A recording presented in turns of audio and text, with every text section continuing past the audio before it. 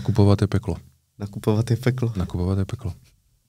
To je, ty, když Pozveš znáš- 10 lidí, tři nepři, tři, všichni potvrdí, že přijdou, tři nepřijedou. Jeden, že mu umřela babička, druhá, že těsně onemocněl a třetí, že má autohavárii. To jsou tři základní výmluvy v České republice.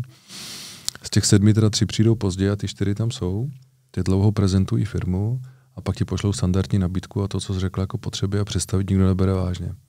Takže těch deset vyhodíš, zavoláš známým, si nebo nějakého kamaráda, ten tě někoho doporučí, ten tě poslouchá, ten to s tebou zařídí, tak to většinou probíhá. Hrůza.